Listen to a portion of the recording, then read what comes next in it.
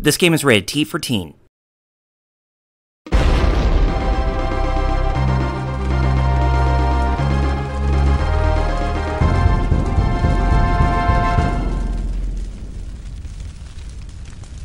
The Wonderful 101. Who is that 101st member? Oh yeah, that's you!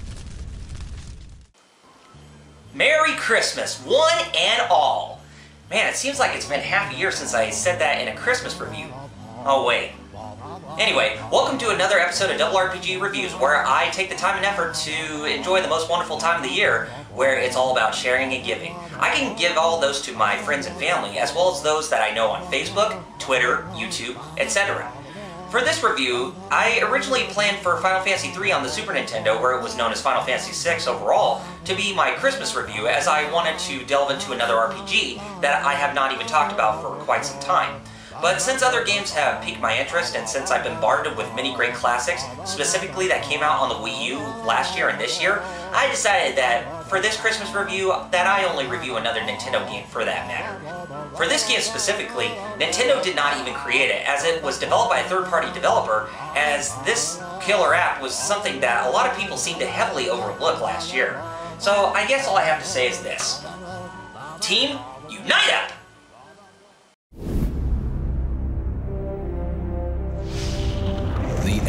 Invasion of Earth will be met by a group of fearless warriors that number just 100 souls.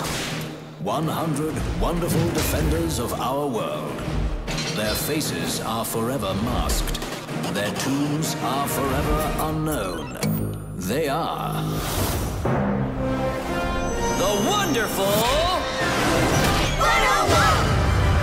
I knew we forgot someone. You.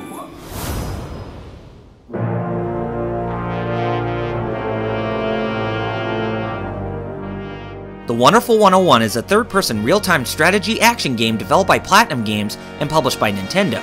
Oh, sweet! We take a look at another one of my favorite gems from Platinum Games themselves. Seems that Platinum Games' biggest success as of recent comes from this game along with Bayonetta 2 on the Wii U. Don't you guys worry about Bayonetta 2, as we'll delve into that game along with the original in a two part episode coming next year. For Nintendo's first partnership with the famed developer, Hideki Kamiya took center stage to create another unique gem in his resume of quality goodness, and he decided to revisit the formula of tokusatsu for this title. For those of you who don't know, tokusatsu is a Japanese term for special filming, as it deals with monster movies like Godzilla and superhero shows like Super Sentai and Kamen Rider. This is how Viewtiful Joe came about during Kamiya's time at Capcom, and this game is considered by many to be a spiritual successor to that franchise, which I agree. Looking at the Wonderful 101, just what is it that made this mass superhero action game so appealing that many people heavily overlooked? Sit tight, unite up, and watch to find out. It's morphin' time, folks!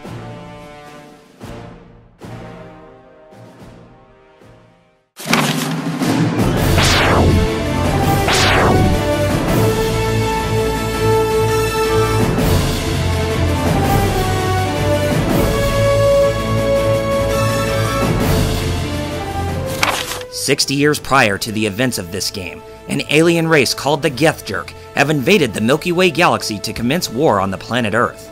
In retaliation, the United Nations created a special forces armada called the Sentinels that don superhero masks to grant each user their own individual strength and unique abilities.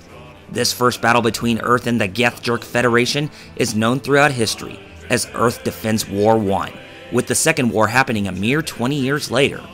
To protect the Earth from any future threats, the United Nations also created a generated force field called Margarita to protect the planet from any further harm from enemy invaders. The next 40 years seem to have given the planet Earth a golden age of peace, even for the likes of an elementary school teacher named Will Wedgwood, the game's main protagonist. However, the Geathjerk have reappeared to continue their war on humanity. Knowing that Earth is once again in great peril and need of saving, Wedgwood rises from the chaos and becomes Wonder Red, leader of the wonderful 100. A big battle is underway that could threaten the extinction of the human race, and the wonderful 100 must unite together to take down their old nemesis by entering the next catastrophic conflict Earth Defense War 3. The beginning to the Wonderful 101 story is kind of the thing you should come to expect from Hideki Kamiya, as his writing style doesn't make the characters act as cliched as you would expect them to be, as his writing is something you could expect to see from a Western viewpoint, as Platinum Games titles are more done from a worldly perspective and not by a Japanese one. It's very creative, and it gives the characters more personality to which they become more caring and appreciative in the plot. Wonder Red is the well-rounded leader who comically likes to name everyone and their status quo in heroic monologues. Wonder Blue is the lone wolf who struggles to execute teamwork for his own personal gain. Wonder Green is the self-indulging wisecracker who tries to gain the attention of beautiful women. Wonder Pink is the prissy, fashionable heroine with a hot temper. Wonder Yellow is a brute with a heart of gold, but a shy persona. Wonder White is a strategic warrior who knows the code of the ninja to guide his teammates to victory. And Wonder Black is the tech-savvy geek who is very quiet all the time. Their importance to the story is well rounded, and their meetings with villains and allies dynamically grow their characters, especially the main child of the story, Luca, a boy who believes that the planet Earth took his mother away and seeks revenge against them because of his misconception of the planet to begin with. From beginning to end, the story is witty, nonsensical, but very gratifying altogether, despite there being a few sexual jokes that pop in from time to time, for many thinking it's a kid's game when it has a teen rating. It's got great class.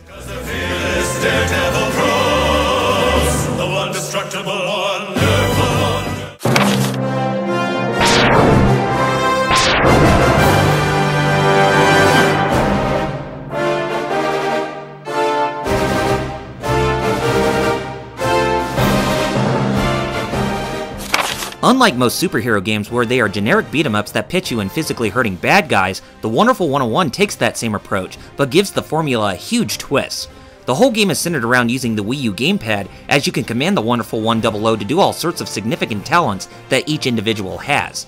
Your normal and default motion has you moving around, beating up bad guys, jumping, blocking, evading, sprint dashing, and going into the submenu during the gameplay or from the gamepad to select items that can heal your party members, or have your flying vessel, the Virgin Victory, send you support from the air. The main focus from the controls revolve around the Wii U gamepad's touchscreen, as the wonderful 100 can morph into weapons based on your fingerprint or stylus movements on there. This ability is called Unite Morph, as you can form the wonderful 100 into giant fists, swords, guns, whips, hammers, claws, bombs, naginatas, crossbows, boomerangs, and drills. Using these abilities are bound to give the Geathjerk a massive beatdown for their non-diplomatic activities. The less members you have to form the appendages, the less damage they'll do, but the more you have will ensure greater damage on your foes. There are other Unite abilities that you can form into, so that you'll have many offensive and defensive strategies at your expense to achieve greater results from battle. There are times that you'll end up inside buildings or vehicles to move around inside of them to solve puzzles. Sometimes the top screen will be your view of the whole structure or maze, while the bottom screen will be your back view of the entire team going through them. It's just as effective as seeing everything at once as certain elements such as secret codes can be on a single screen that you can't see from another, so you'll have to utilize both points of view to progress even further. Another Unite ability is the Unite Glider, as you will have to use this tactic to escape toward other areas that are in the way of open-ended hazards, such as pits and burning rivers of lava, so just form a triangle when you see it so that you don't miss your jumps. For each mission, there are a total of 3 levels, except for Operation 007, as that consists of 2 levels only. In total, there are about 26 levels that cover the whole campaign, and the last level of each operation will have you duking it out with a boss that ranks among the high levels of the Geathjerk Federation. From time to time during the gameplay, you'll end up fighting a space pirate team known as the Guyzoch that is led by Vorkken, former prince of a planet called Rulo, along with his right-handed warrior named Chewgi. These hard times will make the wonderful 100 learn more about teamwork instead of participating in unilateral operations, but a space cop named Immorta will help you from time to time until she is a permanent ally after about halfway through the story. Most of every battle within the game consists of a mission that is a part of the level within any operation, and with the tradition of Platinum Games' own design philosophy, you are graded for how strong your performance was based on the different combos you execute, the amount of time it took to complete the fight, and how much damage you took overall. The boss fights are a bit more ridiculous since most of them will involve some sort of gimmick or bringing about new gameplay mechanics but you are given the ability to engage in the unlimited forms to use your full strength with no limits of your battery gauge, so that there is a huge plus as every other fight has you at your limits. Speaking of new gameplay mechanics, there are some levels within the operations that will have you taking control of something unique that will pay an homage to other gaming franchises with their own playstyles. For example, The boss within Mount Ogerto in Operation 005-C is the Wall Gagujin, and you'll be piloting a Gagujin at your command while duking it out with the boss in a boxing match very similar to that of Mike Tyson's Punch-Out! In Operation 009, you will fly into the heart of the Geathjerk Federation, where the gameplay is that of an on-rail shooter that is similar to Star Fox, another Nintendo IP.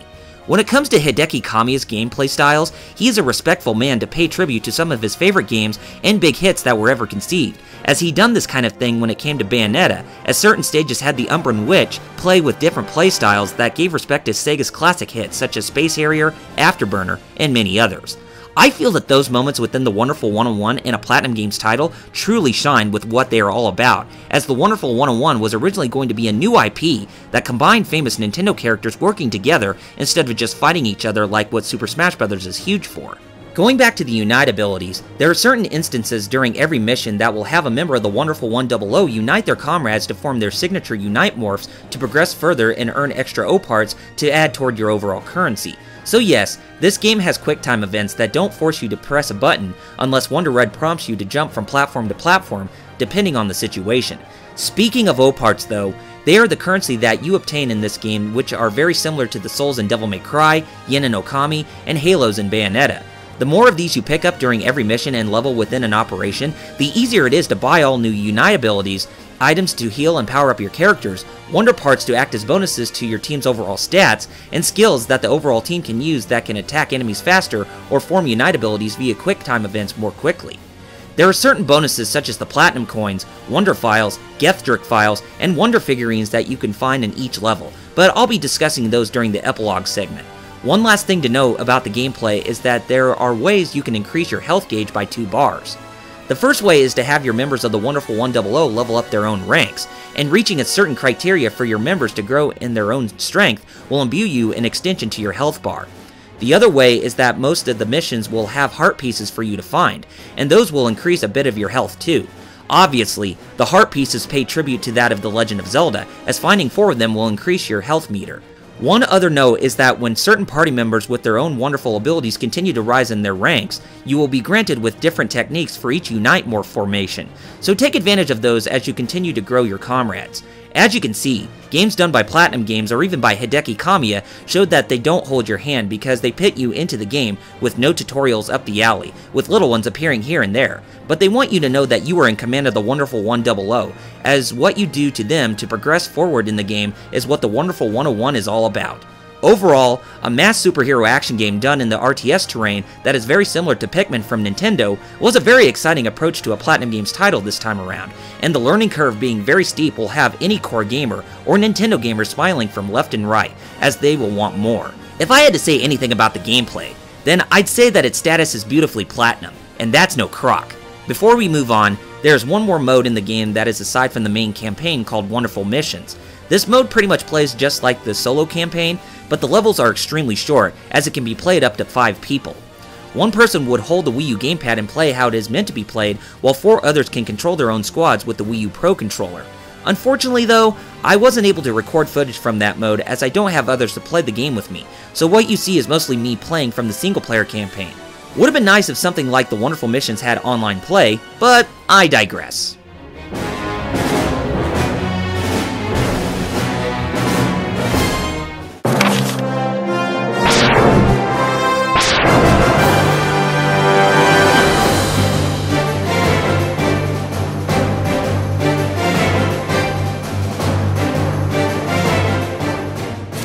When we look at the visual history for many of Platinum Games' own titles, we can see that most of them had a photorealistic delivery in the visuals, with the exception of Mad World because of its comic book nature that pays high respect to Frank Miller's Sin City. The Wonderful 101 is the first game to stray away from that direction, as what we see from Platinum Games' first outing on Wii U goes for more of a cartoonish approach with its characters, enemies, and overall feeling of the mini environments in general.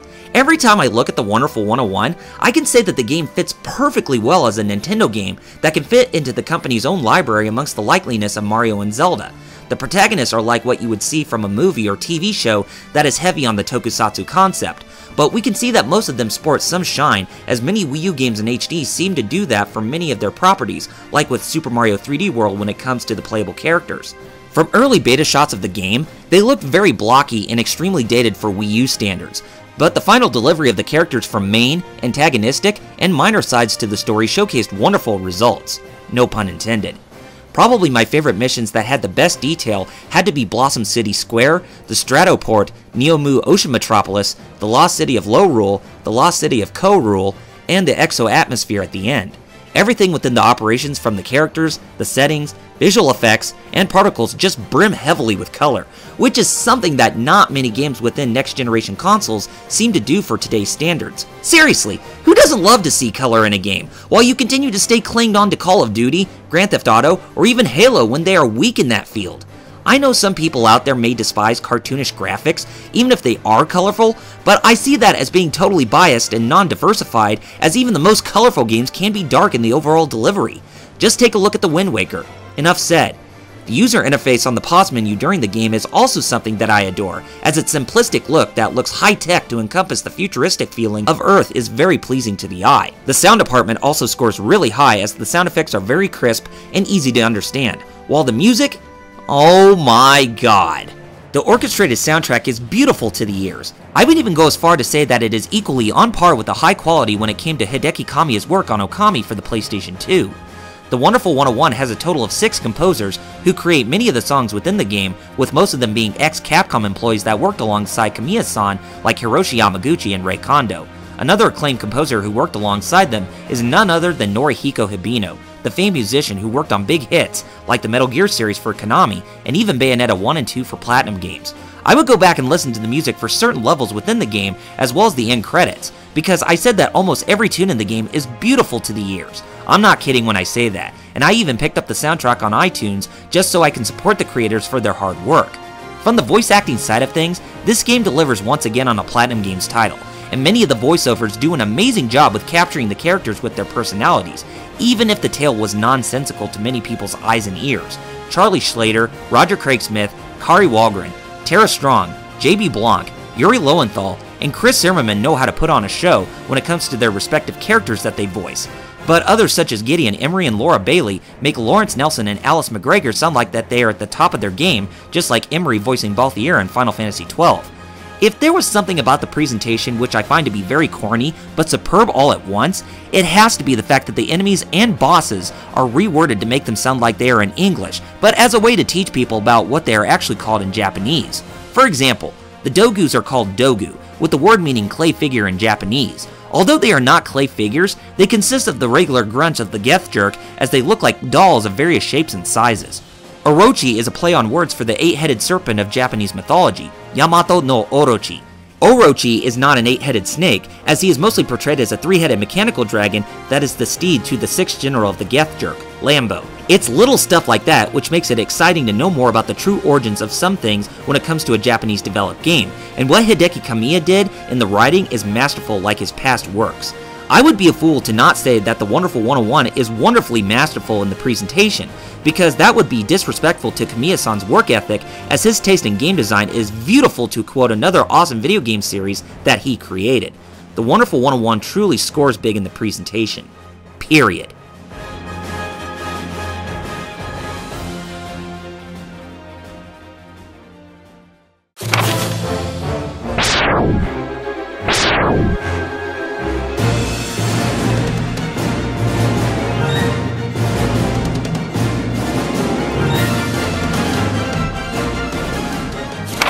Ever since the journey began for the wonderful 100 at Blossom City, hardships and perils have come about for all members. Red lost his father 20 years prior before the events of the game, Blue lost his brother because of a mole who worked for Geathjerk and tries to come to terms with accepting teamwork, Vorkken harasses the Sentinels as Immorta helps out to bring her brother back to his senses after losing everything he lost from his home planet, and Luca comes to learn the truth as to why his mother lost her life as she volunteered to become the Earth's secret weapon known as Mother Platinum.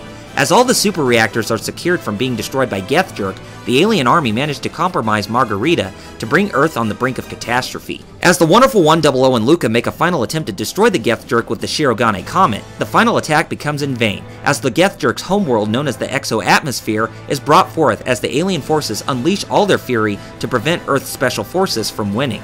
With the Geathjerk overwhelming Earth's special forces with an inexhaustible force, Chewgi from the Guyzoch, Prince Vorkken, and Immorta arrived to help our heroes of Earth press forward to reach the leader of the Geathjerk, a sentient brain-like machine who operates the exo-atmosphere that goes by the name of Jergingha. Jergingha reveals that the Geathjerk Federation came from 1500 years into the future with the sole intent of destroying Earth. In the future, Earth manages to create the Greater Galactic Coalition to help govern the galaxy from any threats, but they have become so advanced where they become tyrannical toward enemy worlds where they destroy them with no mercy, as Geathjerk was at the top of their list. The Wonderful Ones don't believe him, but he takes form of a futuristic evil version of the Sentinel suit and fights back. Our heroes and Jergingha engage in a heavy and deadly struggle with both sides showing no stop.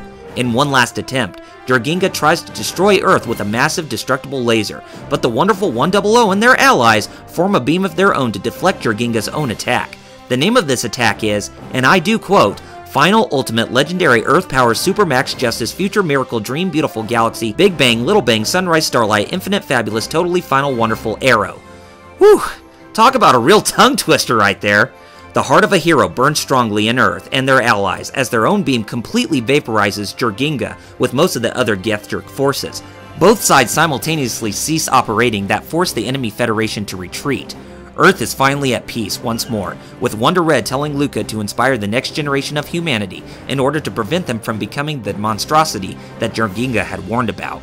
One year later of peace, the Geathjerk have somehow returned to continue their war on humanity, but the Wonderful Ones are all prepared for the attack, with Luca being the newest member known as Wonder Goggles. As the children of Blossom City Elementary School watch and celebrate their heroes, the newly formed Wonderful 101 spring into action to fight the enemy once more. At that moment, the Wonderful 101 comes to an end, with the game treating players to undergo final missions within the credits. The ending of the game definitely sets things up for a sequel, and I truly hope that there is one coming from both Platinum Games and Nintendo in the future.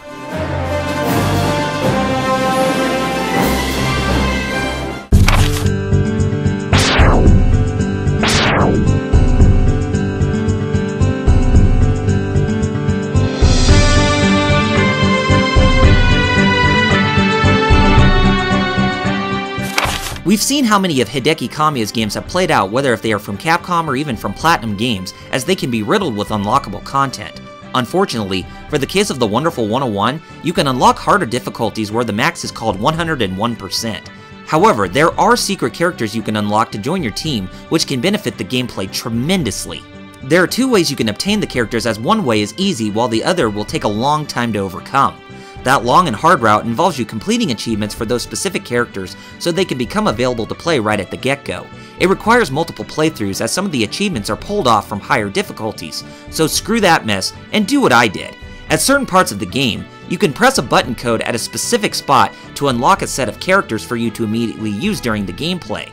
But the only catch is that you have to have at least a million O parts to unlock each of the five sets. When you arrive at those locations that I mentioned, hold the ZR shoulder button down and press up, down, up, right, left, X, B, Y, and A. If you stood at the correct spot and pressed the code in the correct order, a jingle will play that indicates you did things right. Now to where these sets are unlocked and what characters in each set consists of. In the prologue from where you first stand as Will Wedgwood, insert the code and you'll unlock the Sentinel set that consists of Wonder Captain, Wonder Scarf, and Wonder Gramps, which they are the respective characters of Lawrence, Alice, and Professor Shirogane. In Operation 001-A at the beginning, enter the code and you'll have the set which contains Bayonetta, Jeanne, and Rodin from the Bayonetta franchise as wonderful ones, but make sure you have 2 million O parts for this set as it is the only one that has a million more over the others. In Operation 006-B during the fight with Laambo as Wonder Red in the past, enter the code and you'll get the Olden Days set, which has Lawrence Nelson as Wonder Red who goes by the codename Emeritus, Wonder Daddy, who is Will Wedgwood's deceased father, and Will Wedgwood as a child during that tragic event of losing his father. In Operation 009-B, during the shield generating device sabotage, the code you input from the starting position from the battle will unlock the rival set, which has Vorkken, Chewgi, and Immorta being playable throughout the entire game. Finally, in the epilogue and after the first car is disconnected, enter the code and get the real superhero set that has Wonder Goggles, Pose Man, and Wonder Director being yours to command. Each of these secret characters has a more powered up version of the Unite abilities, and they are far more powerful than your standard members of the Wonderful 100, so use them diligently when going through the harder difficulties. One last thing I would like to mention is that there is a hidden easter egg that can occur during the cutscenes with character dialogue. As you see the characters talking to each other, Holding down the ZR button will allow you to see right through the Wonderful One's masks and see their eyes. It really doesn't have a purpose, but if the masks were getting in the way for you to see a character's true emotions through their eyes, then there you go. Other than that, the Wonderful 101 is pretty light on unlockable content. The only way you're going to unlock any more is if you locate the hidden platinum coins, wonderful figures, wonderful files, and even Geathjerk files within each level of every single operation. Doing this will uncover more of the character bios, art galleries, and in-game model dioramas that you can view in gallery mode. Even if you don't unlock a lot from the in-game to there not being any extra modes, there are other little incentives you can find throughout the main adventure. The Wonderful 101 may be light on unlockable content, but the in-game package is pretty packed for the whole game overall.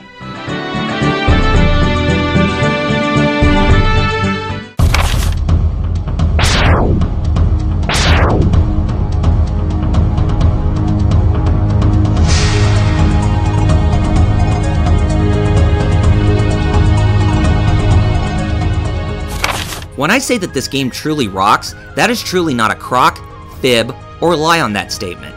The Wonderful 101 is probably the next best thing to come out of the mind of a creative game designer like Hideki Kamiya.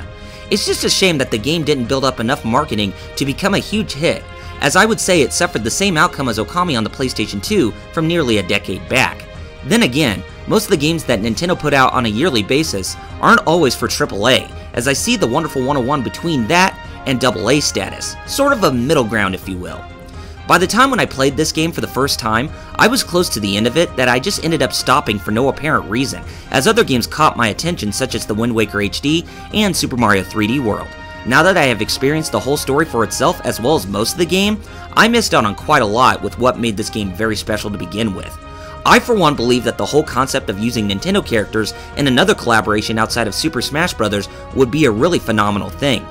But I guess we really needed a new IP to show that Nintendo and Platinum Games have made a match made in heaven.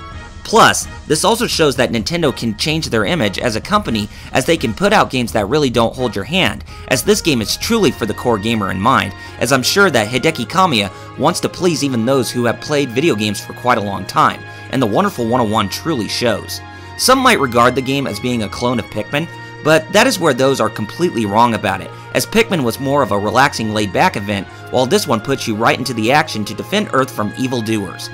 The visuals are really impressive for an HD game as it fits the world, which can be considered a spiritual successor to Viewtiful Joe. The soundtrack and voice work are at the top of their class, and the gameplay really shouts out the word wonderful without content. For those who are still on the fence on third party support for the Wii U, I just have to ask about what it is that you are waiting for. This game is a third party game done right, and you owe it to yourself to play this masterpiece of an RTS action title, as the many haps you encounter from the story and gameplay perspective will make you want to come back for even more. The Wonderful 101 has been out for over a year. It is cheap to buy a new copy from many places you can get your hands on, and I definitely say that it is worth a buy overall. Unite up and purchase the Wonderful 101 today.